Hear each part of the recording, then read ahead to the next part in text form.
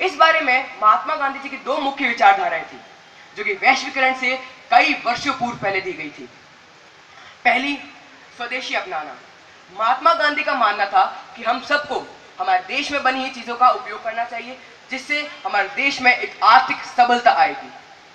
दूसरा उनका मानना था कि लघु एवं